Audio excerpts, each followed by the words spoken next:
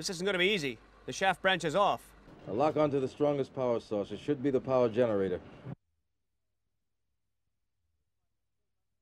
Those fighters are still back there. The Death Star is turning away from the fleet.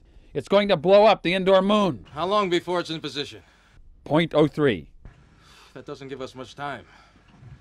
Red Wing, form up. And stay alert. We could run out of space real fast. Rebel fighters have entered the superstructure. Open the power discharge gates. Flood sectors 304 and 138.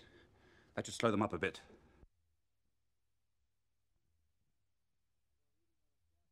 I got a reading on a shaft obstruction at six marks.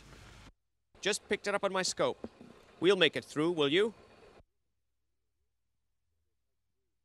It's gonna be a tight squeeze. It's too close.